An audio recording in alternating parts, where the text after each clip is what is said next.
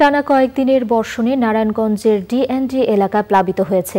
পানিবন্দী হয়ে পড়েছে বিশ লাখ মানুষ এবং ডুবে আছে বাড়িঘর ও শিল্প কলকারখানা। এলাকাবাসীর অভিযোগ, প্রায় দু দশক ধরে এই জলাবদ্ধতার শিকার তারা।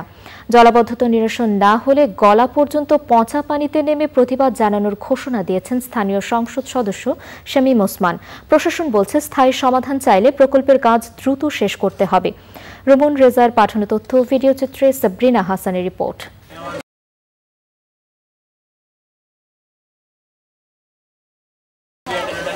নারায়ণগঞ্জের ডিএনডি এলাকায় জলাবদ্ধতা এখনও একটি আতঙ্কের নাম।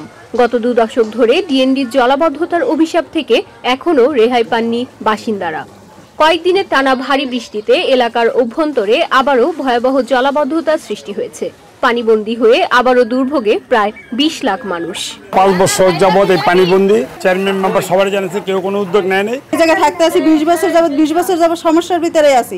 এই যে অফিস করে আসলাম এই যে ভিজে আসলাম আবার অফিস করে যাও ভিজেই যাব। প্রতি বছরই আমি বর্ষাকালে ডিপে দেখা।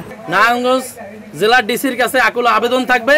যে আমাদেরকে এই পানির থেকে তাড়াতাড়ি মুক্তি দেওয়ার ব্যবস্থা করে সে করে। জলাবদ্ধতার কারণে জেলার একমাত্র আন্তর্জাতিক ক্রিকেট ভেন্যু খান সাহেব ওসমান আলী স্টেডিয়ামটি এখন খেলাধুলার জন্য সম্পূর্ণ অনুপযোগী হয়েছে।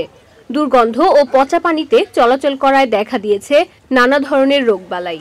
অনেকেই অন্য জায়গায় চলে যাচ্ছেন। বন্যা লেগে যাইতেছি গা ঈদের মাংস বা মাংস রাইন দেখাইতে পারি নাই। চুলার মধ্যে পানি। ভ্যান গাড়ি দিয়া তার বাদে নৌকা দিয়া যায় বাচ্চারা পানির মধ্যে পড়ে যায় রোগ ঠোকে ভরে যেতেছে। আমরা জোর দাবি জানাচ্ছি এই ফতুল্লা স্টেডিয়ামকে যেন জলাবদ্ধতা থেকে নিরসন করা হয় এবং আমরা আবার জন্য ক্রিকেট খেলা উপভোগ করতে পারি। প্রকল্পের কাজ পরিদর্শন শেষে জলাবদ্ধতা নিরসনের দাবিতে প্রতিবাদ কর্মসূচির ঘোষণা দিয়েছেন স্থানীয় সংসদ সদস্য শামীম ওসমান। আমার প্রত্যাশা তো অবশ্যই আছে যে কারণ মন্ত্রী মহোদয় আমাকে কথা দিয়েছেন।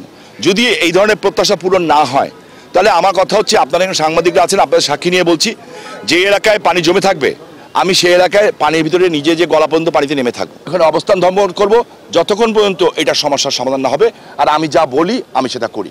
দু দফায় মোট এক হাজার দুশো নিরানব্বই কোটি টাকা বরাদ্দ হওয়া এই প্রকল্পের কাজ আগামী বছরের জুনে সম্পন্ন হবে বলে জানিয়েছে পানি উন্নয়ন বোর্ড। আমরা ডিসেম্বরের মধ্যে কাজটি শেষ করলেও প্রক্রিয়াজাত কারণ ফান্ডিং এর ব্যাপার স্যাপার মিলিয়ে এটা জুন পর্যন্ত এক্সটেনশন করা হয়েছে।